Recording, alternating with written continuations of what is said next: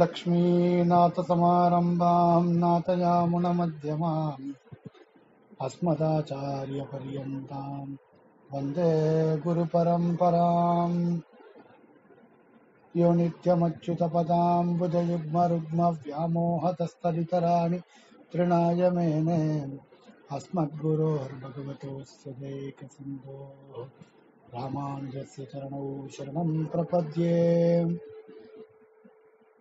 यस्य वाग्वृद्धिपर्यन्ता यतिराजसरस्वती। तस्मै वेदान्तगुरवे भूयो भूयो नमो नमः।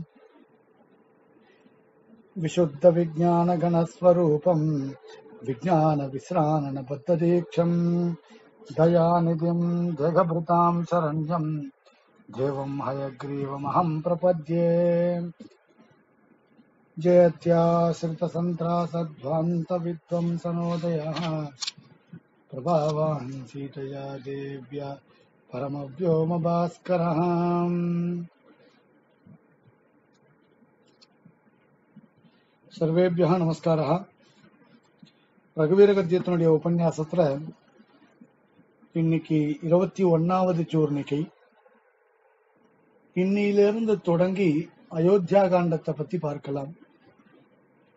அயோத்தியா காண்டத்தினுடைய ஒரு அர்த்த சங்கிரகமாக சுவாமி தேசிகன் இந்த சூர்ணிகைகளை கொடுத்திருக்கார்.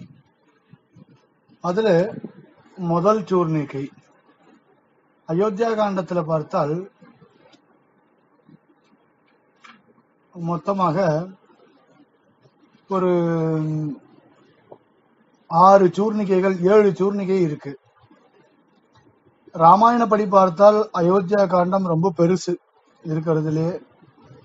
விசிஷ்டாத்வைதத்தினுடைய சாராம்சங்கள் எல்லாமே அயோத்தியா காண்டத்துல ரொம்ப ஸ்பஷ்டமாவே சொல்லப்பட்டிருக்குன்னு பெரியவாள் வர்ணிச்சிருக்கான் சுவாமி தேசிகன் அது எல்லாத்தையுமே அயோத்தியா காண்டம் மொத்தத்தையுமே சுருக்கி இருபத்தி ஒன்னாவது சூர்ணிகைகள்ல தொடங்கி இருபத்தி ஏழாவது சூர்ணிகைகளை பூர்த்தி பண்ணி கொடுக்கிறார் நமக்காக. அவ்வளவு பெரிய விஷயத்த ஏழே சூர்ணிகைகள்ல பூர்த்தி பண்றாருன்னா அவருடைய கவிதா சாமர்த்தியம் எப்படி இருக்கும்னு நம்ம தெரிஞ்சுக்கலாம். ஆரண்ய காண்டத்தினுடைய முதல் சூர்ணிக்கையாக இருபத்தெட்டாவது சூர்ணிகை தண்டகா தபோவன ஜங்கம பாரிஜாதா அப்படின்றது ஆரண்ய காண்டத்தினுடைய முதல் சூர்ணிகை. ஆகையினால இன்னு தொடங்கி இருபத்தி ஒன்னாவது சூர்ணிகை தொடங்கி இருபத்தி ஏழாவது சூர்ணிகை பரியந்தம் இருக்கக்கூடிய விஷயங்கள் அயோத்தியா காண்டத்தினுடைய ஒரு சங்கிரகமான விஷயங்களை அயோத்தியா காண்டத்துல இருக்கக்கூடிய விஷயங்களை சங்கிரகமா எடுத்து சொல்றதாக இந்த சுவாமி தேசிகனுடைய கத்தியம் ரகுவீரனை பத்தி அமைஞ்சிருக்கு. ஏற்கனவே சொன்னா போல அயோத்தியா காண்டத்துல ராமனுடைய குணங்கள் அதிகமாக பேசப்படுறது. ஏகப்பட்ட குணங்கள் ராமன் விஷயமாக. வேதம் சொல்றது மாத்ரு தேவோபவ பித்ரு தேவோபவ ஆச்சாரிய தேவோபவ அதிதி தேவோபவ யான்யனவத்யானி கர்மாணி தானி சேவிதவ்யானி. இதெல்லாம் வேத வாக்கியம். இது எல்லாத்தையுமே இவர் நிரூபிச்சு காட்டுறார் ராமன் நமக்காக. இது அயோத்தியா காண்டம் எல்லாத்துலயுமே நம்ம பார்க்கலாம். அயோத்தியா காண்டம் முழுவதுமாக இந்த மாதிரியான விஷயங்கள் தான் சொல்லப்பட்டிருக்கு. அதனால்தான் பிராச்சீனத்துல ராமனை பத்தி ஒரு ஸ்லோகம் சொல்லும்போது சொன்னா திராத்தும் திரிலோகம் அப்பியோ வனமேவ பேஜே தம் ராகவம் குணக்கணிம் சரணம் பிரபத்யே. அந்த ராகவனை சரணமாக அடைகிறேன். குணங்களுக்கெல்லாம் இருப்பிடமா இருக்கக்கூடிய அந்த ராகவனை நான் சரணமாக பற்றுகிறேன் அப்படின்னு சொல்றார். இந்த அண்ட சராச்சரங்களையும் காப்பாத்துறதுக்காக தான் வனத்துக்கு சென்று கஷ்டப்படுகிறான் அப்படின்னு சொல்லியிருக்காரு அப்போ சுவாமி தேசிகன் இந்த விஷயங்கள் எல்லாம் சங்கலனம் பண்ணி இந்த சூர்ணிக்கையா கொடுத்திருக்காரு. அதுல முதல் சூர்ணிக்கை அன்றுத்த பயமுஷித ஹிருதய பித்ருவச்சன பாலன பிரதிஜா வஜ்ஞாத யவ்வராஜ்யா இது இருபத்தி ஒன்னாவது சூர்ணிக்கை அன்றுத்த பயமுஷித ஹிருதய பித்ருவச்சன பாலன பிரதிஜாவஜாத யௌவராஜ்யா அன்றுத்த பயமுஷித மித்யாவச்சனத்தினுடைய பயத்தினாலே ஒரு அபகிருத்தமான ஹிருதய சித்தத்தை உடைய பித்ரு பிதாவான தசரத சக்கரவர்த்தியினுடைய வச்சன வார்த்தையினுடைய பாலன பிரதிஜா ரக்ஷணத்தினுடைய ஒரு பிரதிஜையாலே அவஜாத யௌவராஜ்யா ஒரு திரஸ்கரிக்கப்பட்ட யுவராஜ பட்டாபிஷேகத்தை யௌவராஜ்யத்தை உடையவனே அப்படின்னு சொல்லியிருக்கார் முதல் சூர்ணிக்கையினால எவ்வளவோ விஷயத்த சங்கலனம் பண்ணி மொத்தத்தையும் உள்ள சுருக்கிட்டார். அவருடைய கவிதா சாமர்த்தியம் இங்க தெரிகிறது. அயோத்தியா காண்டம் ஆரம்பத்திலிருந்து ராமன் காட்டுக்கு போற பர்யந்தம் இந்த சூர்ணிகையினுடைய அர்த்தம். ஏன்னா திரஸ்கரிக்கப்பட்ட யுவராஜ்யத்தை உடையவனே அப்படின்னால் அடுத்தது காட்டு கிளம்பிட்டார்னு அர்த்தம். பட்டாபிஷேகம் நின்னு போயிடுத்து நீ காட்டுக்கு போலாம் அப்படின்னு விஷயத்தை தெரிஞ்சுட்ட உடனே யுவராஜ்ய பட்டாபிஷேகம் நின்னு போயிடுத்து அப்படின்னு தெரிஞ்சுண்டு அவர் காட்டுக்கு தயாராயிட்டார் அப்படின்னு. இப்போ இந்த அன்றுத்த பயம் உஷித்த ஹிருதய பித்ருவச்சன பாலன. ஏன் இத மாதிரி தசரதன் ராமன் காட்டுக்கு போகும்படியான ஒரு காரியத்திற்கு அவன் எப்படி காரியம் காரணமா ஆனான்? தசரதன் எப்படி எந்த விதத்துல ஹேத்துவானான் ராமன் காட்டுக்கு போறதுக்கு அப்படின்ற விஷயத்தெல்லாம் நாம இங்க பார்க்கலாம். யதா அவகாசம் நம்மள பார்க்கலாம். அயோத்தியா காண்டம் பூர்த்தியா ராமாயணத்துல எப்படி சொல்லப்பட்டிருக்கோ? இப்ப நம்ம பாலகாண்டம் பார்த்தோம். பாலகாண்டம் சுவாமி தேசிகனுடைய அபிப்பிராய பிரகாரம் கூடுமான பரியந்தம் எல்லா கதையும் நம்மளால சொல்ல முடிஞ்சது. ஏன்னா பாலகாண்டம் ஓரளவு சின்னது. அயோத்தியா காண்டம் பூர்த்தியாக வால்மீகி ராமாயணத்துல சொல்லப்பட்டபடியும் கம்பராமாயணத்துல சொல்லப்பட்டபடி இல்ல மற்றவர்கள் சொன்னபடி நாம மொத்தமா சங்கலனம் பண்ணி எடுத்துட்டு வந்து அந்தந்த சூர்ணிகைகள்ல சொல்றதுன்றது ரொம்ப கஷ்டம். ஏன்னா அதிகபட்சம் இந்த வாட்ஸ்அப்ல அடியன் செக் பண்ண பரியந்தம் பார்த்தால் பதினாறு எம்பி வரைக்கும் தான் அனுப்ப முடியும்னு தோன்றது. ஏதோ அடியனுக்கு இந்த டெக்னிக்கல் விஷயங்கள்லாம் தெரியாது. அடியன் வித்தியார்த்திகள் ஏதோ ரெடி பண்ணி கொடுத்துருக்கா. அதன்படி பார்த்தால் ஒரு இருபத்தஞ்சு நிமிஷம் இருபத்தாறு நிமிஷம் சொல்லலாம் போல் இருக்கு ஒரு சூர்ணிக்கைக்கு அதுக்கு மேல முடியாது. அதனாலதான் அடியன் அவசரப்பட்டு அவசரப்பட்டு ஒரு இருபத்தாறு நிமிஷத்துக்குள்ள எல்லாத்தையும் சொல்லணும்னு நினைக்கிறேன் அடியன். அப்படி பார்த்தால் இந்த சூர்ணிக்கை அயோத்தியா காண்டத்தினுடைய முதல்ல இருந்து ஆரம்பிச்சு வருது. அயோத்தியா காண்டம் முதல் தொடங்கி அதிலிருந்து ராமன் காட்டுக்கு போற பர்யந்தம் இங்க சொல்லப்பட்டிருக்கு. அயோத்தியா காண்டத்துல முதல் ஸ்லோகம் பார்த்தால் கச்சதா மாதுல குலம் பரதேன ததா நகா சத்ருக்னோ நித்ய சத்ருக்னா நீத பிரீத்தி புரஸ்கிருதா வால்மீகி ஸ்லோகம் எப்படி எழுதுல பாருங்கோ கச்சதா மாதுல குலம் பரதேன ததானகா பரதனும் அவனுடைய தம்பியா இருக்கக்கூடிய சத்ருக்னனும் பரதனின் மாமாவான கேகேயினுடைய ராஜ்யத்துக்கு போயிருக்கான். தசரதன் கல்யாணம் பண்ணிட்டு பசங்களை ஆயிடுச்சுன்னு வந்தால் கல்யாணத்துக்கு வந்த கேகேயன் ஒரு ரெண்டு நாட்கள் இருந்திருப்பான்னு வச்சுக்கோங்களேன். ரெண்டு நாள் கழிச்சு அழைச்சிட்டு போயிட்டான். அழைத்து கொண்டு சென்று அவாத்துல வச்சுட்டு இருக்கான். தாத்தா பாட்டி குட்டி குட்டி பசங்களை வச்சுட்டு சின்ன மாட்டு பொண்கள் சின்ன பேர குழந்தைகள் இவாளை வச்சுட்டு தாத்தா பாட்டி சௌக்கியமா பார்த்துட்டு இருக்கான். இங்க இருந்தா என்ன அங்க இருந்தா என்ன? எல்லாமே தன் தேசம் தான் இல்லையா? அதனால அவன் அங்க இருக்க ராமனை விட்டு பிரியறதுன்றது கஷ்டம். இல்லையா? அதனால பரதனை விட்டு பிரியறது கஷ்டம் இல்லைன்னு இங்க அர்த்தம் ஆகல. இங்க இருந்தா என்ன அங்க இருந்தா என்ன? ரெண்டுமே தான் தேசம்தான். தாத்தா பாட்டியாத்துல வளர்றான் அப்படின்ற ஒரு எண்ணத்துல இருக்கான். அப்போ இங்கே இருந்து பார்த்தால் இந்த கச்சதா மாத்துல குலம் பரதேன தத்தானகா. பரதன் போனா பரதனோட சேர்ந்து இவன் போயிருக்கானே. இது எப்படி முடியும்? சத்ருக்னன் பாப்பமே இல்லாதவன். ஸ்ரீ வைஷ்ணவாளுடைய வியாக்கியானபடி பார்த்தால் இந்த ஸ்லோகம் பிரமாதமான ஸ்லோகம். ஸ்ரீ வைஷ்ணவால்னா விசிஷ்டாத்வைத சம்பிரதாயத்தை அனுசரணை பண்ணிட்டு இருக்கிறவன். ரொம்ப ஆச்சரியமா வியாக்கியானம் பண்ணியிருக்கா பெரியவாள். ராமாயணத்துல யார் பாபமே இல்லாதவன்னா அது சத்ருக்னன் தான் அப்படின்னு சொல்லிட்டா. ராம தரிசன மாத்திர பாபம் இல்லாதவன் சத்ருக்னன் அப்ப ராம தரிசனம்ன்றது பாபம்னா. இது எப்படிலாம் சொல்ல முடியுமா அப்படின்னு கேட்டால் இதெல்லாம் சொன்னா கல் எடுத்து அடிப்பா இல்லையா? ஆனா அவர் பெருமாள் அப்படி சாதி பாக ராமாயணத்திலே அப்படி சொல்லப்பட்டிருக்கு. சத்ருக்னோ நித்திய சத்ருக்னா நீத பிரீத்தி புரஸ்கிருத்தான். ராமனை சேவித்தால் ராமன் தன் பக்கலிலே இழுத்துடுவார் சத்ருக்னனை.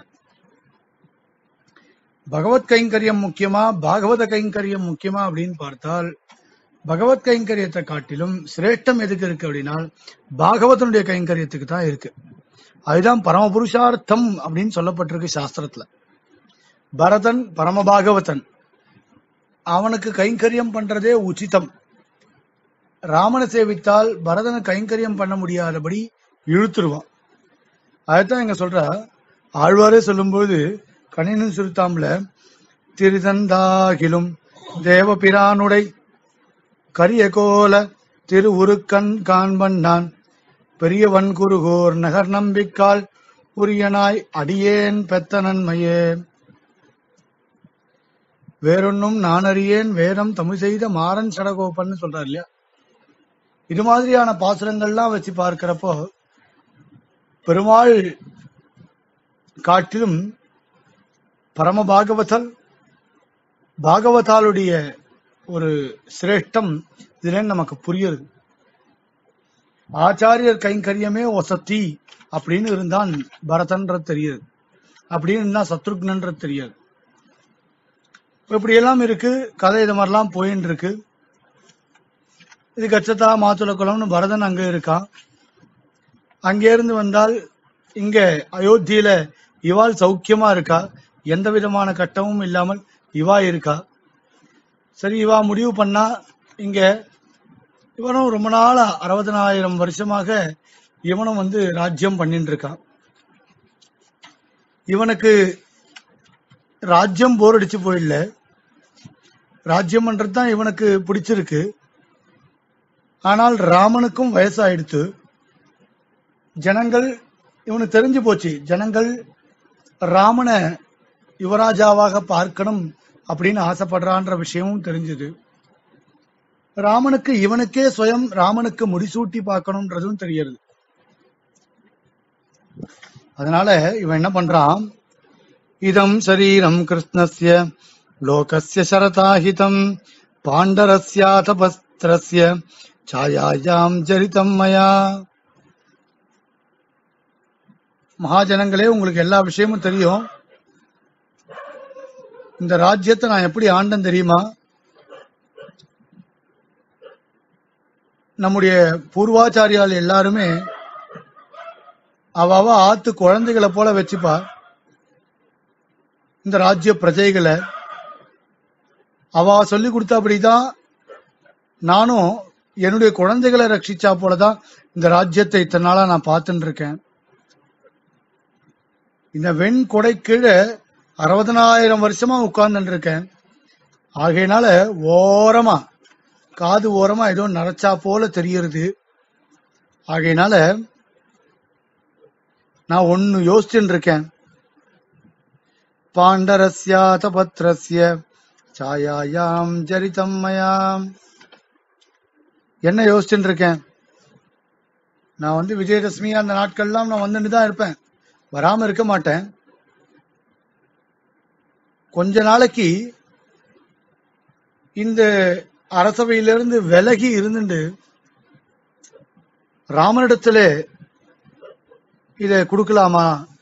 பட்டாபிஷேகம் பண்ணி வைக்கலாமான்னு பார்க்கிறேன். அனுரூப சவை நாதா லக்ஷ்மிவான் லக்ஷ்மணாகிரஜா திரைலோக்கியம் அபி நாதேன ஏன சியாத் நாதவாதரம். அமர்ந்த நாதனை அவரவராகி அவர்களுள் அருளும் அம்மானை அப்படின்னு திருவாய்மொழியில சாதிக்கிறார். இதை கேட்ட உடனே ராமனுக்கு முடிசூட்டலாம் அப்படின்னு பார்க்கிறேன் அப்படின்ற விஷயத்த கேட்ட உடனேவே ஜனங்கள்லாம் சொல்றாளா எல்லாருக்கும் ரொம்ப சந்தோஷம். பிரஜைகளுக்கெல்லாம் ஒருத்தருக்கு ஒருத்தர் அவ்வளோ சந்தோஷம். விருட்டி மந்தம் மகாமேகம் நர்த்தந்த இவ பருகினா ஜனௌ கோத்ருஷ்டே विमानं कम्प्य कम्पयन्निव अनेकवर्षसाहस्रः वृत्तस्त्वमसि पार्थिव स रामं युवराजानम् அபிஷின்ஸ்வ பார்த்திவம் பிரஜைகள்லாம் சொல்றா மழை பெய்யற மேகத்தை பார்த்து மயில்கள் சப்திக்கிறா போல நாங்கெல்லாம் ஆரவாரம் பண்ணிண்டு சொல்றோம் என்ன சொல்றோம்னா விமானம் கம்பயன் இவ அந்த மகா சபையினுடைய மண்டபத்துல இருக்கக்கூடிய விமானமே நடுங்கிறபடியாக உரத்த கொல்ற குரல்ல சொல்றாளாம் எத்தனாயிரம் வருஷம் ஆச்சு? அநேக ஆயிரம் வருஷம் ஆச்சே. ராமனுக்கு ராஜாவா பட்டாபிஷேகம் பண்ண. நீ கிளம்பே அப்படின்னா. சரி பார்த்த உடனே அண்ணன் எப்ப போவான் சின்ன எப்ப காலி ஆகும்னா பாத்தீங்கோ அவ்வளவு இதுவா நான் ஒன்னும் தப்பு பண்ண மாதிரி தெரியலையே. ராமன் மேல நீங்க இவ்வளவு பிரீத்தியோட இருக்கிறது சந்த சந்தோஷமா இருந்தாலும் கூட என்ன கிளம்புன்னு சொல்ற மாதிரி இருக்கேன் இச்சாமோகி மகாபாகும். ரகுவீரம் மகாபலம். கஜேன மகதாயாந்தம் ராமம் சத்ராவிருத்தானனம். கதன்னுமை தர்மேன. பிருத்வீம் அனுசாசதி பவந்தோ திரட்டுமிச்சந்தி. யுவராஜம் மமாத்மஜம். நான் ஒரு வார்த்தை தான் சொன்னேன். ராமனுக்கு பட்டாபிஷேகம் பண்ணி வைக்கட்டுமான்னு கேட்டேன். நீங்க என்ன பதில் சொல்றது? திருவுள்ள பொடி செய்யலாம் அப்படின்னு சொல்லிருக்கலாமே இல்ல இன்னும் ஒரு ரெண்டு வருஷம் இருக்கலாமே. இப்பவே என்ன அவசரம்னு சொல்லிருக்கலாமே. இப்படி சொல்றது தானே நியாயம். ஆனா இதை விட்டுட்டீங்களே. எல்லாரும் ஒரே மாதிரி சேர்ந்துண்டு எல்லாரும் இச்சா மோகி மகா பாகும்னு சொல்றீங்களே. இது நியாயமா நான் என்ன தப்பு பண்ணேன்? உன்னிடத்துல குற்றம் உண்டு தசரதா. குற்றம் இல்லைன்னு இல்லை. என்ன குற்றம் இருக்கு தெரியுமா? உன்னை காட்டிலும் பல மடங்கு குணவானா இருக்கக்கூடிய ஒரு பிள்ளைய நீ பெத்தையே அதுதானே குற்றம் ஆனா பகவோ நிருப கல்யாண குணா புத்திரஸ்ய சந்திதே அப்போ ராமனை பத்தி சொல்றோம். இக்ஷ்வாகு வம்சத்துல எத்தனை ராஜாக்கள் இருந்தாலோ அத்தனை ராஜாக்களை காட்டிலும் வசந்தவன் உன் பிள்ளை. பிரஜைகளுக்கு கண்ணில் படைச்சே சந்திரன் மாதிரின்னா கண்ணில் படுறான். சந்திரனை பார்த்து முழு நீல பௌர்ணமி சந்திரனை பார்த்து யாராவது வேண்டாம்னு சொல்லுவாளா? சொல்றவா யாராவது உண்டோ? பூர்ண சந்திரனை தூஷிக்கிறவா இந்த லோகத்துல இருப்பாளா? பாருகாசகசரத்துல தேசிகன் சாதிக்கிறார் இந்த விஷயத்த. கோமாயூனம் மலைய பவனே தஸ்கராணாம் ஹிமாம்சௌ துர்வத்தானாம் சுச்சரித்தமயே சத்பதே துவத்சனாதே துவஜானே धरलमनसां शार्ङ्गिनः पादरक्षे नित्योद्वेगो भवति नियते ஈதிருஷி துர்விநீதி பெருமாள் சேவை சாதிக்கிறார் எப்படி சேவை சாதிக்கிறார் ஷார்ங்கபாணியனுடைய பாதுகையே பாதுகை என்றார் ஜனங்களுடைய ஜனங்களுக்கு பாதுகையை சில பேருக்கு பிடிக்கிறது ஏன் பிடிக்கிறது அவ அவளுக்கு அந்தந்த மாதிரியான சுபாவம் இருக்குன்னா சில பேருக்கு பிடிக்கலன்னார் அதுவும் அந்தந்த மாதிரியான சுபாவத்தினால ஏற்படுறதுன்னு கேட்டார் சொல்றாரு இந்த ஸ்லோகத்தினால சுவாமி தேசிகன் அப்படி ராமனுக்கு ராமனை எல்லாருக்கும் பிடிச்சிருக்கு. ஏன் பிடிக்கலன்னு சொல்ல முடியுமா? அவனுடைய குணங்கள் எல்லாருக்கும் பிடிச்சிருக்கு. அழ்வார் சாதித்தார் இல்லையா? கற்பார் ராமபிரானை அல்லால் மற்றும் கற்பரோ புற்பா முதலா புல்லரும் பாதி ஒன்றின்றையே. நற்பால் அயோத்தியில் வாழும் சராசரம் முற்றவும் நற்பாலு குய்த்தனன் நான்முகனார் பெற்ற நாட்டுலே. வால்மீகியே சொல்றாரு வியசனேஷு மனுஷியானாம் புருஷம் பவதி துக்கிதா உற்சவேஷு ச சர்வேஷு பிதேவ பரிதுஷ்யதி. இதெல்லாம் ராமனுடைய குணங்களாக வர்ணிச்சிருக்கு. எப்பேற்பட்ட நடையழக ரசிக்கிற அவன் வந்து இருக்கான்னா அப்பேர் விஸ்வாமித்திர சொல்லிட்டு போனார் இல்லையா? ஏதேமே தபசி ஸ்திதாகன்னு ராமன் யாருன்னு நினைச்சேன் அங்க இருக்காள. இத்தனை பேர் ஜாபாலி முதலான ரிஷிகள்லாம் இங்க இருக்காளே. இவாள்லாம் நீ நித்தியம் போடுற ததியாராதனை சாட்டு இருக்கிறதுக்கா இங்க இருக்கா? இல்லையே. ஏதோ அவள் கீழே விழுந்த அந்த சரகை எடுத்து மடிசிஞ்சில வச்சுண்டு அதை சாப்பிட்டுட்டு அப்படியே தியானம் பண்ணிட்டு இருக்கா நீ டேய் பயலே ராம் அவ பல ஜென்மாக்களா தபஸ் பண்றான் அவன் வரல. ஆனால் நீ டே பயலே ராமான்னு கூப்பிட்டா உடனே ஓடி வந்துடுறான் வந்து அப்பா அப்படின்றான். அந்த நீயும் டே பயலேன்னு கூப்பிட்றதுக்காகவும் அவன் அப்பான்னு வந்து நிக்கிறதையும் சேவிக்கணும்ன்றதுக்காக அவள் பல நாட்களா தபஸ் பண்ணிட்டு இருக்காளே. மறுபடியும் சும்மாவா இருக்கா? மறுபடியும் உடனே தபஸ் பண்ண ஆரம்பிச்சிடறாளே. இப்பேற்பட்ட ஒரு பாக்கியம் உனக்கு கிடைச்சிருக்கேன்னாலே அதுதான் பகவான் இருப்ப கல்யாண குணா புத்திரஸ்ய சந்தித்தேன்னு சொன்னான். இந்த மாதிரி ராமனுக்கு முடிசூட்டணும். சரி ராமனுக்கு முடிசூட்டணும் அப்படின்ன உடனே எல்லாருக்கும் சரி ஓகே அப்படியே ஆகிட்டோம்னா அதுக்கு வேண்டிய காரியம் எல்லாத்தையும் பண்றா கதே புரோஹிதே ராமா ஸ்நாதோ நியதமானசா சகபத்னியா விசாலாட்சியா நாராயணம் உபாகமத்து. வசிட்டர் விரதத்துக்கு வேண்டியது எல்லாத்தையும் பண்ணி வைக்கிறார். நாராயண சகபத்னியா விசாலாட்சியா நாராயணம் உபாகமத்தன் ராத்திரி தீட்சையெல்லாம் எல்லாம் நான் ரங்க ரங்கேச மாம்பாகி ரங்கேச மாம்பாகின்னு ரங்கநாதன் சன்னதியில போய் சீதா பிராட்டியோட ராமன் எழுந்தொள்ளி இருக்கார். ஊரே ஒரே கொண்டாட்டமா இருக்கு. ஊருக்கெல்லாம் அயோத்தியில இருக்க மொத்த ஜனங்களுக்கும் கொண்டாட்டம் பண்ற இருக்குன்னா ஒருத்திக்கு மாத்திரம் கொண்டாட்டம் இல்லைன்னு. இதுல இருந்தே தெரியறது இல்லையா? அயோத்தியில இருக்கக்கூடிய மொத்த ஜனங்களுக்கும் கொண்டாட்டம். அவளுக்கு மட்டும் கொண்டாட்டம் இல்லைன்னா அதுல இருந்தே தெரியுது அவ அயோத்தியில இல்லை அப்படின்னு தெரியறது ஸ்பட்டமாவே நமக்கு. யார் அவனா வால்மீகி சொல்றார் ஞாதி தாசீயதோ ஜாதா கைகேயாஸ்து சகோதரி சகோஷிதாம் பிரசாதம் சந்திர சங்காசம் ஆறு ரோக எதிர்ச்சயாம். ஞாதிதாசி பிறந்ததுலேருந்தே அனுப்பி வைக்கக்கூடிய ஒரு வேலைக்காரி புக்காத்தில் புக்காத்துல இருக்கக்கூடிய வேலைக்காரி இல்ல கைகேயோட வந்து சேர்ந்த வேலைக்காரி. நான் வளர்த்த பொண்ணு அதனால நான் வரேன்னு சொல்லிட்டே வந்துடுறேன் சரி இங்கேருந்து வந்தாலே என்ன ஆச்சுன்னு எல்லாம் சந்தோஷமா இருந்தா கூட அவளால பொறுத்துக்க முடியும். கௌசல்ய சௌக்கிய சந்தோஷமா இருக்காளே என்னன்னு பார்க்கிறார் வால்மீகி சொல்றார் உத்தமேனாபி சயுக்தாம் ஹர்ஷனோர் தபராசதி ராம மாதா தனம் கிந்து கிண்ணு ஜனேபிய சம்பிரயச்சதி. அள்ளி அள்ளி கொடுக்குறா தம் பிள்ளையினுடைய பட்டாபிஷேகத்துக்காக. இதை பார்த்தா மாடி படிக்கட்டுல இருந்து ஓடி வராளாம் பிராசாதத்துல இறங்கி நாலஞ்சு படிக்கட்டா தாவி தாவி வராளாம் ஓடி கிருஷ்ணபிரேமி அண்ணா சொல்லும்போது சொல்லுவார் அப்படியே கீழ்ந்து கீழே விழுந்து போயிருக்க கூடாதா? நல்லபடியா முடிஞ்சிருக்குமே அப்படின்வார் அந்த மாதிரி அவளை பார்த்தால் எல்லாருக்குமே ஒரு வெறுப்பு உண்டாருதுன்னு. நேர ஓடி வந்தா கைகேய பார்த்தா உத்திஷ்ட மூடே கிம் சேஷே பயம் துவாம் அபிவர்ததே. உபப்ளுதம் அகௌகேன கிமாத்மானம் ந புத்தியசே எப்பவுமே சதா அவளை அப்படிதான் எழுப்புவ போல் இருக்கு அதனாலதான் மூடே. ஏ முட்டாளேன்னு எழுப்புறா. எழுந்துரு ஏன் முட்டாளேன்னு. ஒருவேளை சின்ன வயசுல இருந்து வளர்த்தபடியினால அப்படி ஒரு சுவாதந்திரம் இருக்கு போல் இருக்கணும் அவளும் ஒண்ணுமே சொல்லாமல் ஒவ்வொரு ராணி ஒவ்வொரு வேலைக்காரி. ஆனால் அப்படி இல்லையே. சொன்ன உடனே எழுந்து என்ன வேணும்னு கேட்கிறாள். ராமம் தசரதோ ராஜா எவ்வராஜ்ய அபிஷேக்ஷே அபி அபிஷேக்ஷதி எவ்வராஜ்ய பட்டாபிஷேகம் பண்றான்.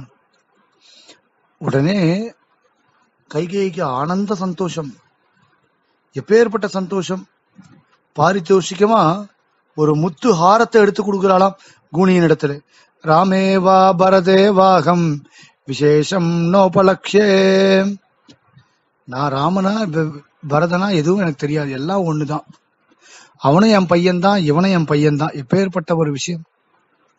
உனக்கு சந்தோஷமா இருக்கலாமா? நீ வேலைக்காரியா போயிடுவ. வரிசையா பல விஷயங்கள் சொல்லிண்டே வர. இதுல மத பேதங்கள்லாம் கூட இருக்கு.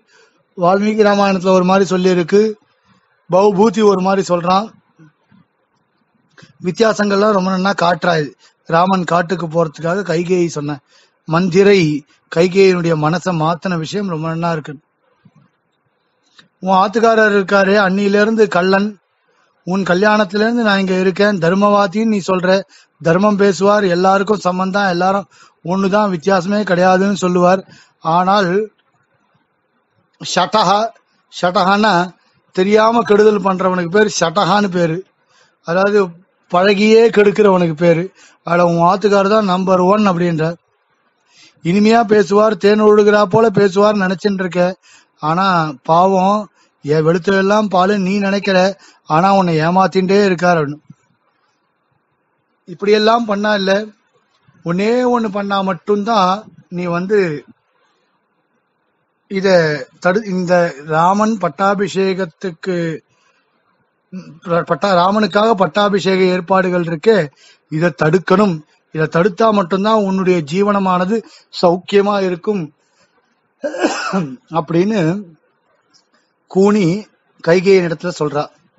என்ன சொன்னாலும் அவ கேட்கல. அவள் மனச மாத்துறா. அவள் மனசை எப்படி மாத்துறா அப்படின்ற இந்த விஷயத்த நாளைக்கு நாம ரகுவீர கத்தியத்தினுடைய அடுத்த சூர்ணிக்க உபன்யாசத்தோட சேர்த்து இந்த ராமாயண கதையும் பார்ப்போம். தாசன் நாளைக்கு பார்க்கலாம். लक्ष्मीनाथसमारम्भां नाथयामुनमध्यमाम् अस्मदाचार्यपर्यन्तां वन्दे गुरुपरम्पराम्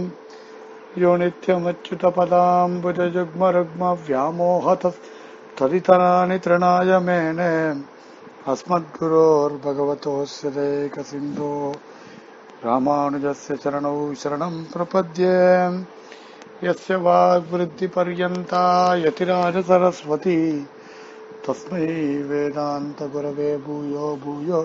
नमो योऽन्तप्रविश्य मम वाचमिमाम् प्रसूप्ताम् सञ्जीवयत्य किल शक्तिधरस्वदाम्ना अन्यास्तहस्तचरणश्रवणत्वकादीन् प्राणान्नमो भगवते पुरुषाय तस्मै विशुद्धविज्ञानगणस्वरूपम् विज्ञानविश्राणबद्धदीक्षम् दयानिधिम् देहभृताम् शरण्यम् देवम् हयग्रीवमहम् प्रपद्ये चैत्याश्रितसन्त्रासध्वान्तविद्वंसनोदयः प्रभावान् सीतया देव्य परमव्योमभास्करः सर्वेभ्यः नमस्कारः ரகுவீர கத்தியத்தினுடைய இந்த உபன்யாசத்துல இன்னைக்கு நாம இருபத்தி ரெண்டாவது சூர்ணிகை பார்க்கலாம். இது அயோத்தியா காண்டத்தை வர்ணிக்கக்கூடிய இந்த சூர்ணிகைகள்ல ரெண்டாவது சூர்ணிகை. நிஷாதராஜ சௌஹிருத சூச்சித சௌஷீல்ய சாகரா. நிஷாதராஜ சௌஹிருத சூச்சித சௌஷீல்ய சாகரா அப்படின்னு இது நிஷாதராஜ குகப்பெருமாளுடைய சௌஹிருத ஸ்நேக விசேஷத்தினாலே சூச்சித சூச்சிப்பிக்கப்பட்ட சௌஷீல்ய அதி நீச்சை சக அதாவது சௌஷீல்ய குணத்தை வர்ணிக்கிறா இந்த இடத்துல. அதி நீச்சை நீச்சை சக நீரந்தீன சம்ஸ்லேஷ ரூபமான ஒரு சௌஷீல்ய குணத்துக்கு சாகரா சமுத்திரமாக இருப்பவனே அப்படின்னு சொல்லிட்டு இந்த ஸ்லோக இந்த சூர்ணிகையினுடைய அர்த்தம். எம்பெருமானுக்கு இருக்கக்கூடிய குணங்கள்லயே சிறந்த குணம் எதுன்னு கேட்டால் அது சௌஷீல்யம்ன்ற குணம்தான். அதனாலதான் பிரிவால் வியாக்கியானத்தில் சொல்லும்பொழுது சங்கேப ராமாயண வியாக்கியானத்திலே அபினவ தேசிகனே வர்ணிக்கிறார் இத. ஆரம்பத்திலே ராமாயண இத்திகாசம் தொடங்குறப்பவே கோன் வஸ்மின் சாம்பிரதம் லோகே குணவான் கஷ்டவீரியவான் அப்படின்னு கேள்வி கேட்கும்போது குணம் அப்படின்னாலே சௌசீல்யம் தானா? அந்த குணக்கடல் யாருன்னா ராமன் தான் அப்படின்னு. கம்பன் சொல்றா இல்லையா குகனோடு ஐவரானோம் முன்பு பின் குன்று சூழ்வார் மகனோடு அறுவரானோம் நின்னோடு எழுவரானோம் அப்படின்னு குகனையும் விபீஷணனையும் சுக்ரீவனையும் சேர்த்துக்கொள்கிறார். மகதோ மந்தை சக நீரந்தீர சம்ஸ்லேஷ விசேஷா சௌஷீல்யம்னு சௌஷீல்ய குணத்துக்கு சுவாமி தேசிகன் கத்தியத்திரைய பாஷ்யத்தில் இந்த லட்சணத்தை சாதிக்கிறார்.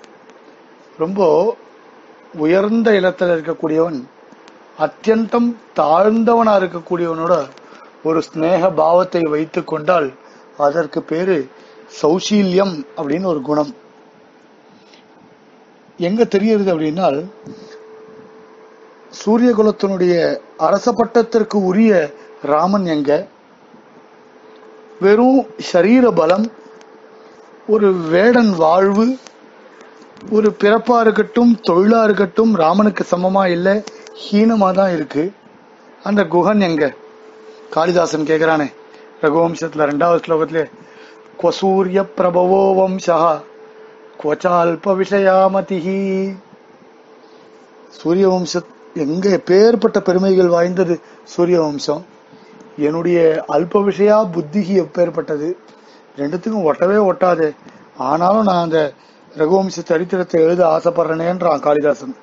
அது மாதிரி குகன் எங்க ராமன் எங்க? ஆனாலும் வால்மீகி பகவான் சொல்லும்போது ராமஸ்ய ஆத்ம சமசகா அப்படின்னு சொல்றாரு. ராமனுடைய ஆத்மாவுக்கு சமமான ஒரு நண்பன் யாரு அப்படின்னால் குகன்தான். கங்கை கரை அதிபன் அன்பால் உயர்ந்த குகன் அப்படின்னு தமிழ்லயே சொல்லுவான். அந்த மாதிரி குகப்பெருமாளுக்கு இருக்கக்கூடிய ஒரு பெருமை ராமாயணத்துல மற்றவர்களுக்கு கம்மிதான் அப்படின்றது தெரியுது இது எப்படி தெரியுது அப்படின்னா குஹேன சகிதோ ராமஹா லக்ஷ்மணேன ச சீதையா அப்படின்னு பாலகாண்டத்திலே வருது ஆரம்பத்திலே. லக்ஷ்மணனோடு இருக்கும் பொழுதும் சரி சீதையோடு இருக்கும்பொழுதும் சரி ராமனுக்கு ஒரு இருப்பு இல்லை. ஆனால் குஹனோடு இருக்கும் தான் ஒரு இருப்பே ஏற்பட்டுதான் பெருமாளுக்கு. அந்த அளவுக்கு குகனிடத்திலே ஒரு பிரீத்தியை வைத்துக் கொண்டிருந்தார். சௌசீல்யம்ன்ற ஒரு குணத்தை ராமனுக்கு இருக்குன்னு நம்ம சொல்றோம்னா அந்த குணம் நம் குகனோடு சேர்ந்து இருக்கும்போது நன்னா பார்க்கலாம் அப்படின்னு சொல்றான். குணவத் சப்தேன ஆவர்த்தியதே புனப்புனः அனுசந்தீயத்தை இதி தத்து சௌசீல்யம் அப்படின்னு வியாக்கியானம் பண்ணா ரகுவீர லட்சியத்தினுடைய பிராச்சீன வியாக்கியானம் பண்ணத்துல இந்த மாதிரியே பங்கி சேவிக்கிற பெரியவாள்.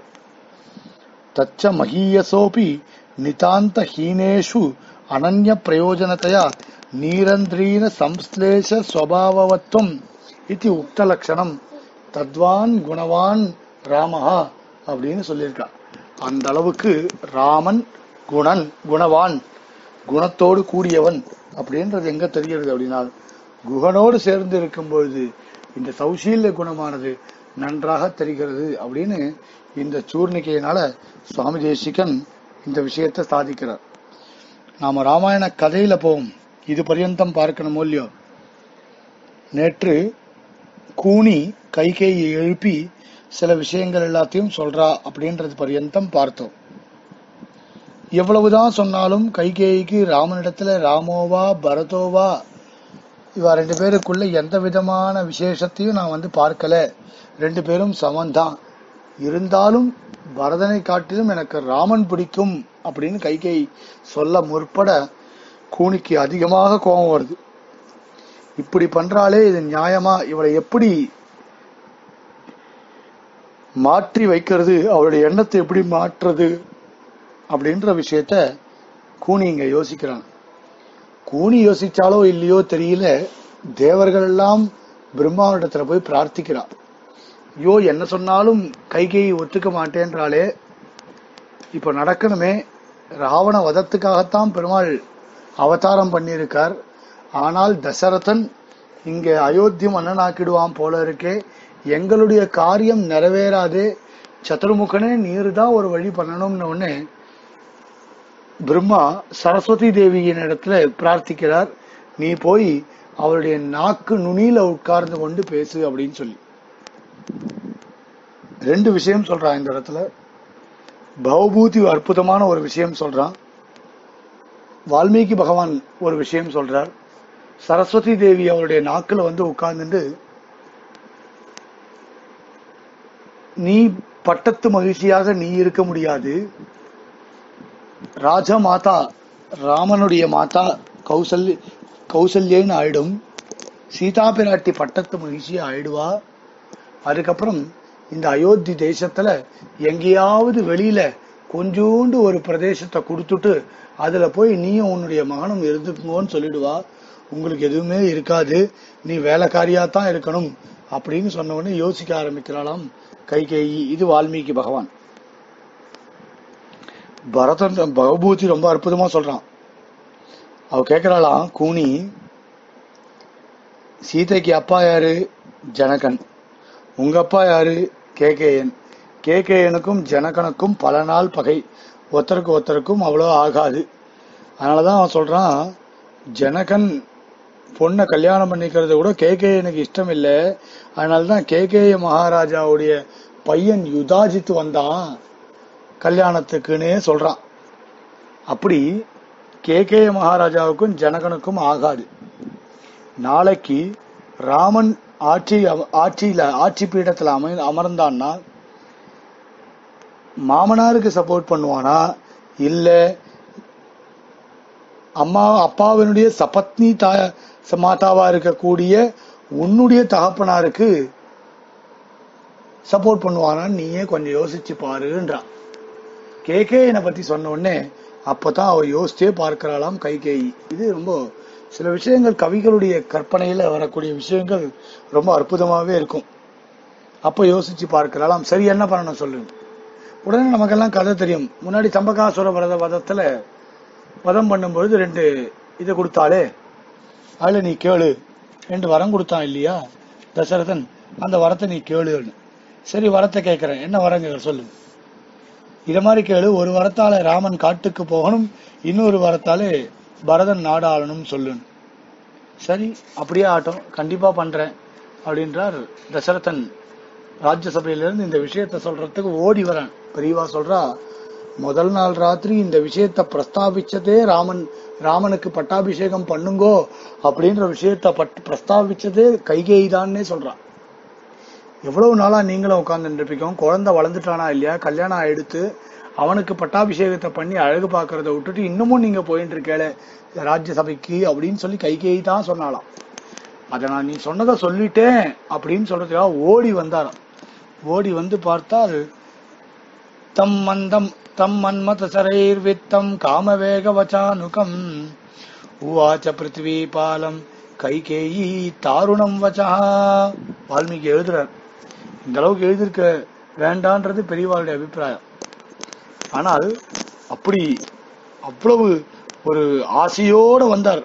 கைகையின் இடத்துல சொல்லணுமோன்னு சொல்லிட்டு. ஆனால் அந்த அப்படிப்பட்ட ஆசையோடு வந்த தசரத பகவ தசரத சக்கரவர்த்தியை பார்த்து கைகேயி சொல்றா ரெண்டு வரம் கொடுத்தனே அந்த ரெண்டு வரம் இப்ப தாங்கோ ஏன் இப்போ அப்படி கேட்குற நீ இப்ப கேட்கறதுக்கு சந்தர்ப்பம் என்ன அமைஞ்சது? சரி சொல்றனே. தரேன் என்ன தரப்போறேன்? என்ன கேட்க போறியோ கேளு. அதுக்காகவா படுத்துட்டு இருக்க கேளு. கம்பன் சொல்றான் ஆழி சூழ் உலகமெல்லாம் பரதனே ஆள. தாழரும் சடைகள் தாங்கி தாங்கரும் தவமேற்கொண்டு பூழி வெங்கானம் நல்கி புண்ணிய நதிகள் ஆடி ஏழிரண்டாண்டில் வா என்று ஆழிசூழ் உலகமெல்லாம் பரதனே ஆள தாழரும் சடைகள் தாங்கி தாங்கரும் தவமேற்கொண்டு பூழி வெங்கானம் நல்கி புண்ணிய நதிகள் ஆடி ஏழு இரண்டாண்டில் வா என்று அப்படின்னு இது பின்னாடி சொல்லக்கூடிய வார்த்தை அப்படியே இதை முதல்ல சொல்றேன். இவர் தசர சக்கரவர்த்தி கேட்ட உடனேவே இவர் சொல்றா ஏய வரங்கள் இரண்டில் ஒன்றினால் என் செய் உலகாள்வது முதல் வரம். என்னுடைய வரங்களில் முதல் வரம் என்னுடைய சேய் என் குழந்தை பரதன் நாட்டை ஆளணும் அவன் ராஜாவாகணும். சரி ரெண்டாவது வரம். இதில் அவருக்கு அவ்வளோ ஒரு பெரிய விஷயம் தெரியல. ஏதோ இதை காட்டு இதுவே ஒரு பேர் ஆபத்து இதை தாங்கிக்கிறார் தாங்கிண்டு இதை காட்டிலும் ஒரு பெரிய ஆபத்து ரெண்டாவது வரத்துல இருக்குன்றத முடிவு பண்ணி சரி முதல் வரம் முடிஞ்சது ரெண்டாவது வரம் அப்படின்னு. சீதை கேள்வன் ஒன்றால் போய்வனம் ஆள்வது என்று புகன்று நின்றாள். தீயவை யாயினும் சிறந்த தீயாள். எப்படி வார்த்தை பாருங்க கம்பனுடைய வார்த்தை. சீதை கேள்வன் ராமன் ஒன்று இன்னொரு வரத்தினால போய் வனம் ஆழ்வது. அதாவது இங்கேயே இருக்கக்கூடாது வேலைக்காரனா. போய் இங்கிருந்து வெளியில போய் வனம் ஆள்வதுன்னு சொன்னாங்க தீயவை ஆயினும் சிறந்த தீயாள். லோகத்துல கெட்டது அப்படின்னு ஒரு வார்த்தையில டிக்ஷனரியில் பார்த்தீங்கன்னா கெட்டவைகளுக்கெல்லாம் கெட்டவையா இருக்கக்கூடியவர் யாருன்னு கேட்டால் கைகேயி தான் தீயவை ஆயினும் சிறந்த சீர்த்தியால் லோகத்துல ரொம்ப பொல்லாத விஷம் ஒன்று இருக்குன்னா விஷம் போன்ற வஸ்துக்கள் இருக்குன்னா அந்த எல்லாத்துக்கும் பொல்லாதமான வஸ்து எதுனா அது கண்டிப்பாக கைகேயி தான் அப்படின்னு. இதை கேட்ட உடனே மூர்ச்சியே ஆயிட்டார் சக்கரவர்த்தி. இப்படி இப்படி இப்படிப்பட்ட ஒரு வரத்தை கேட்கறதுக்கு எப்படி மனசு வந்தது?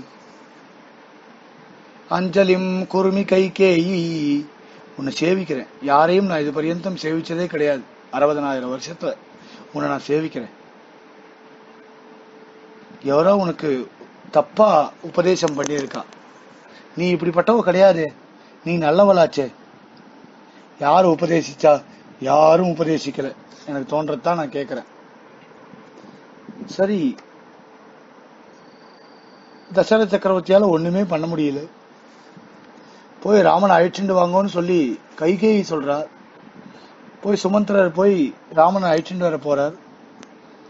பெருமாள் பட்டாபிஷேகத்துக்கு அற்புதமா தயாரி இருக்கான். தயாரா இருக்கும்போது சீதாதேவி பக்கத்துல இருக்கா? வந்தே வரதம் வந்தி வினய வினயஜதோ வினீதவத். வந்தே வரதம் வந்தி. சேவிச்சுட்டே போறாராம். எவ்வளோ பெரியவர் சுமந்தர் சேவிச்சுட்டே போறார். பட்டாபிஷேகத்துக்காக ராமன் ஆயிடுச்சுன்னு வரும்போது. ராமன் சொல்றார் அங்க எப்பேற்பட்ட சபையானது இருந்ததுன்னா எப்பேற்பட்டவாள்லாம் இருந்தான்னா என்னை அழைச்சிட்டு போறதுக்கு சுமந்திரர் வந்திருப்பார். சீதா பார்த்துக்கோ அப்படின்னு. அப்போ இவர் எதையோ நினைச்சுட்டு இருக்கார். அவருக்கும் சுமந்திரருக்கும் விஷயம் தெரியல. சரி பார்த்தால் ஏதோ நடக்கிறதுன்னு மட்டும் தெரியறது சுமந்திரா அழைச்சிட்டு போனால் கைகேயி அரண்மனைக்கு போறாராம் பெருமாள். கைகேயி அரண்மனைக்கு போகும்போது பார்த்தால் ஏற்கனவே சொன்னோம் இல்லையா? அந்த விஷயத்தை இங்க சொல்ல ஆழி சூழ் உங்க அப்பா ரெண்டு சம்பகாசுர வரத்துல ரெண்டு வரம் கொடுத்தார். ரெண்டு வரத்துல ஒரு வரத்தினால பரதன் நாட்டிய ஆளனும் இன்னொரு வரத்தினால நீ காட்டுக்கு போகணும்னு சொன்னார். அதை நான் உங்ககிட்ட சொல்றேன் அப்படி. நீ வனம் வனம் போ. ஆழி சூழ் உலகமெல்லாம் பரதனே ஆள. நீ போய் தாழிரும் சடைகள் தாங்கி தாங்க வரும் தவமேற்கொண்டு வால்மீகி சொல்ற சப்த சப்தஜ வருஷாணி தண்டகாரண்யமாசிரிதா. அபிஷேகமிதம் தியக்துவா ஜட்டாசீரதரோ பவ பரத கோசலபதே. பிரசாஸ்து வசுதாம் இமாம். பதினாலு வருஷங்கள் நீ காட்டுக்கு போ பரதன் நாட்டை ஆளுவான். நாட்டை ஆளுவானா? தாராளமா ஆளட்டுமே. அப்பா சொன்னா அப்பா சொன்னான்னு ஏன் சொல்ற? அப்பா சொன்னான்னு சொல்லவே வேண்டாமே. மாற்று தாய் சென்று வனம் போ போகே என்றிட ஏற்று தாய் பின்தொடர்ந்து எம்பிராமான் என்று அழ கூற்று தாய் சொல்ல கொடிய வனம் போன சீற்றமில்லாதானை பாடிப்பற சீதை மணாலனை பாடிப்பற எப்பேற்பட்ட விஷயம்? அப்பா சொன்னா அப்பா சொன்னான்னு சொல்ல வேண்டாமே. மன்னவன் பணியென்றாகில் நும்பணி மறுப்பேனோ? என் பின்னவன் பெற்ற செல்வம் அடியேன் பெற்றதென்றோ? பெரியவாள் இதுக்கு அழகா வியாக்கியானம் பண்ணுவான் இந்த கம்பராமாயணத்துல. இந்த பாசுரம் சொல்லும்போது மன்னவன் பணி என்றால் நீயே சொல்ற மன்னவன் பணி என்றாகில் நும்பணி மறுப்பேனும் ஏன் திருப்பி திருப்பி இப்படியே சொல்ற? அது வேண்டாமே. ஏன் நீ சொன்னாலே போருமே. நீ சொன்னாலே நான் கேட்டுப்பேன். என் பின்னவன் பெற்ற செல்வம் நான் ஞான் பெற்ற செல்வம் என்றோ. என் பின்னவன் பரதன் என்ன செல்வத்தை எல்லாம் பெறப்போகிறானோ அதெல்லாம் நான் பெற்ற செல்வம். இப்ப பாருங்க ராமன் காட்டுக்கு போறார்.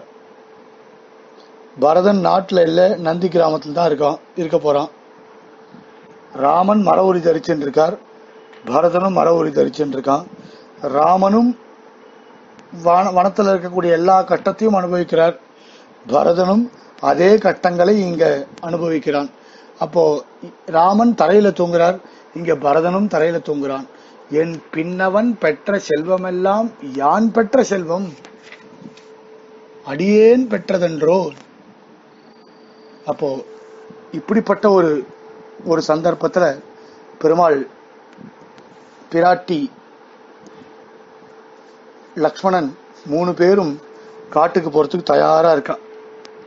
அங்கேருந்து கோசல இடத்துல விடைபெற்று கொள்ள வரா? கோசலா சொல்றா கோசலா தேசம் தனி தேசம் அயோத்தியா தேசம் தனி தேசம். உங்க அப்பா என்னை கல்யாணம் பண்ணிட்டதுனால ரெண்டும் ஒரே தேசமாச்சு. அதனால நீ கோசலா தேசத்தை ஆண்டு கொண்டிரு பரதன் அயோத்தியா தேசத்தை ஆண்டு கொண்டிருக்கட்டும். பிரச்சனையெல்லாம் சால்வ் ஆகி போயிடும். ஏன் கஷ்டப்படுறேன்? அதெல்லாம் தேசத்தை நம்மளே பிரிக்க முடியுமா? தப்பு அது. அது மாதிரிலாம் பண்ணக்கூடாது அப்படி. சரி உடனே பார்க்கிறார். பார்த்த உடனே லக்ஷ்மணன் சொல்றான் இது என்ன நியாயம்? இதெல்லாம் ஒரு நியாயமா? இப்படியெல்லாம் இருக்கக்கூடாது இல்லையா?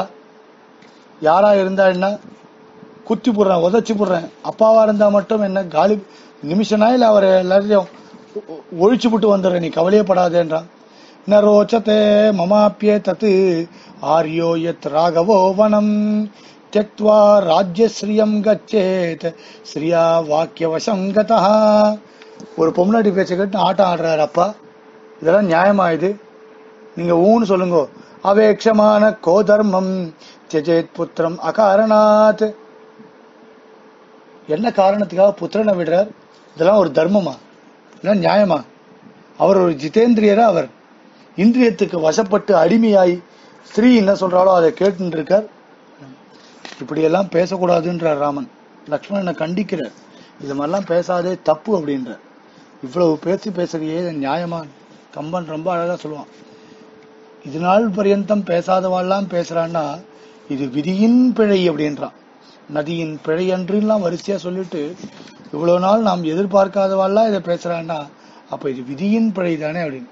அம்மாவை பார்க்கிறா அம்மா இடத்துல சொல்றா நீ சொன்னது தப்பு.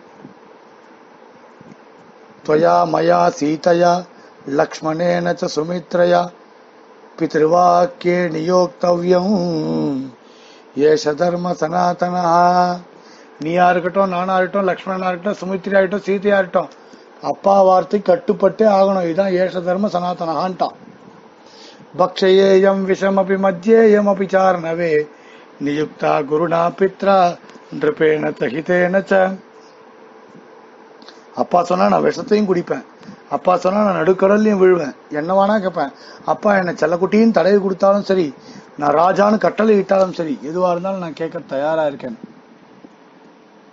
இப்ப பெருமாளுடைய வாக்கே ஒரு அற்புதமான வாக்கு.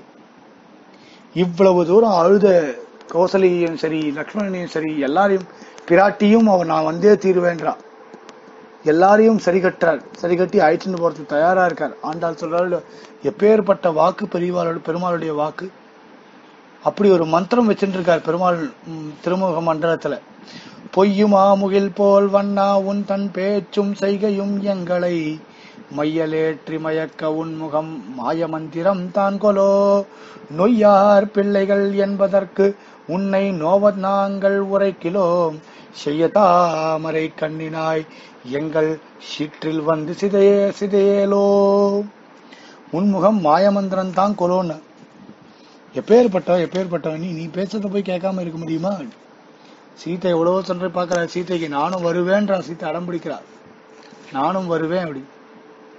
அதுவும் எங்க அப்பா ஒரு வீரனை கொடுத்தாருன்னு நினைச்சிருந்தேன். எங்க அப்பா நினைச்சுப்பார் நாம ஒரு கோழை கொடுத்துருக்கோம்னு நினைச்சுப்பார். அது அது தேவையா உனக்குன்னு? உடனே சரி வாஸ்தவம் சொல்லிட்டு எல்லாரும் புறப்படுறா. லக்ஷ்மணனையும் அழைச்சிக்கிறார் சீதா தேவியும் அழைச்சிக்கிறார் வனத்துக்கு புறப்படுறார். எங்க பார்த்தாலும் ஊரே அழறுது ராஜ்யத்துல எல்லாரும் அழறா. இங்கேருந்து கிளம்பி போறார். எவ்வளவோ விஷயம் நடுவுல எவ்வளவோ விஷயம் இருக்கு கிளம்பி போறதெல்லாம். அது எல்லாத்தையும் சுமித்ரா இடத்துல விடைபெற்றுக் கொள்கிறார். சுமித்ரா சொல்றார் ராமம் தசரதம் வித்தி மாம் வித்தி ஜனகாத்மஜாம். அயோத்தியாம் அடவீம் வித்தி கச்சதா தயதா சுகம் அப்பா விட்டு போறதா நினைச்சுக்காத லக்ஷ்மணா ராமன் தான் உங்க அப்பா. என்ன பிரிஞ்சு இருக்கியே நினைச்சுக்காத சீதை தான் உங்க அம்மா. அயோத்தியாம் அடவியும் வித்தி அயோத்தியில போகத்தை அனுபவிக்கலாமே இதெல்லாம் விட்டுட்டு காட்டுக்கு போறேனே நினைக்கிறியா? அப்படி நினைக்காத அயோத்தியா தான் அடவி தான் அயோத்தியா காடு தான் அயோத்தியா. கச்சதா தயதா சுகம். சரி மகனே போயிட்டு வா. அப்படின்னு மகனை வழி அனுப்பி வைக்கிறாளாம். அதுவும் ஏதோ தாயாய் தந்தையாய் மக்களாய் மற்றுமாய் முற்றுமாய் நீயாய் நீ நின்றவாறு இவை என்ன நியாயங்களே? இடர்கடியும் மாதா பிதுவாக வைத்தேன் எனதுள்ளே யாதாகில் யாதே இனி? அழுதாராம் லக்ஷ்மண் ராமனை விட்டா வேற கதியே கிடையாது. தாயும் அவன் தான் தந்தையும் அவன் தான் மக்களாய் மற்றுமாய் முற்றுமாய் எல்லாம் அவன் தானே அவனை தவிர வேற எதுக்கு? வேற யாரு எனக்கு? ராமன் தான் எல்லாமே லக்ஷ்மணனும் கிளம்பி போயாச்சு. மொத்த பேரும் கிளம்பி போயாச்சு. கிளம்பி போறது போனா தசரதன்கிட்ட வந்து விடை பெற்றுக் கொள்றதுக்காக வரான். தசரதன் புலம்புறான் புலம்புறான். குலசேகர ஆழ்வார் பத்து பாசுரங்கள் தசரதனுடைய புலம்பல் சொல்லியே அழகா பண்ணியிருக்கார் பத்து பாசுரங்கள் காளிதாசன் சொல்றான் சைசவேபியஸ்த வித்யானாம் யௌவனே விஷயைஷினாம் வார்த்தகே முனி விருத்தீனாம் யோகே நாந்தே தனுத்யஜாம். அவள்லாம் சாதாரணமாக விடமாட்டா. அதாவது நோய் வந்தோ மற்ற க சூ ஏதாவது ஆத்மஹத்தி பண்ணிக்கொண்டோ இல்லை யுத்தத்திலேயோனாலேயோ அவள்லாம் அவள்லாம் உயிரை விடமாட்டாள் யோகேன அந்தே தனுத்தியஜாம் வயசாகி போயிடுத்து வயசானதனுடைய காரணத்தினால யோகத்தினாலேயே அவள் வந்து உயிரை விட்டுடுவா. ராமன் பிரிஞ்சு போயிட்டான் ராமன் பிரிஞ்சு போனதுனால யோகத்தினாலேயே வீர உயிரை விடுற தயாரா இருக்கான்.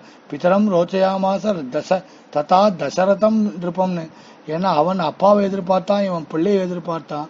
ரெண்டு பேரும் சேர்ந்து ஒன்னா காரியத்தை நடத்தின்னு இருந்தான் அப்பேற்பட்டவன் போராளேன் அதுவும் இந்த மாளவிகாக்னி மித்திரத்துல காளிதாசன் சொல்றான் ஸ்திரீகள்கிட்ட அதிகாரம் கொடுத்துட்டா ரொம்ப கஷ்டம்ன்றான்.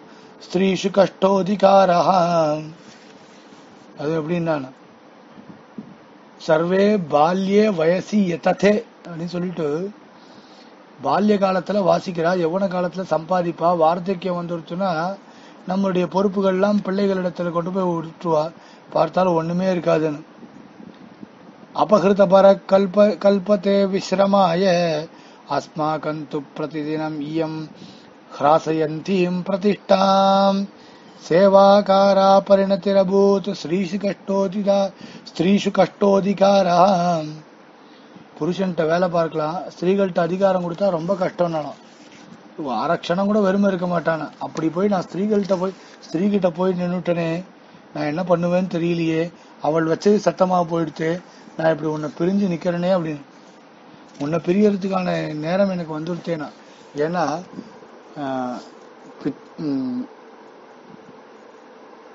ஆஹ், பித்- ம், பிதுஷோகா ஷான்மாசிகா மாதுஷோகா சம்வத்சரா பாரியா துக்கம் புனர்பாரியா புத்திரசோகோ நிரந்தரா அப்படின்னு சொல்லியிருக்கு ராமாயணத்திலே. எதுரா சோகம் அதிகமாக விளைவிக்கும் அப்படின்னா அப்பா போனாலோ அம்மா போனாலோ பாரியா போனாலோ அதிகமான சோகத்தை கொடுக்காது. புத்திர சோகம் தான் அதிகமாக கொடுக்கும் அப்படின்னு சொல்றாங்க. அப்படி ராமன் காட்டுக்கு புறப்பட்டு போறார். தசரதன் இந்த பிரிவை தாங்க முடியாமல் தன் உயிரை மாய்த்து கொள்கிறார். அது பர்யந்தம். நாம் இன்னைக்கு பார்ப்போம் ராமாயண கதையில. நாளைக்கு மிச்சத ரகுவீரகத்தை பிரகாரம் என்ன உபன்யாசமோ அதை பார்க்கலாம். தாசன்.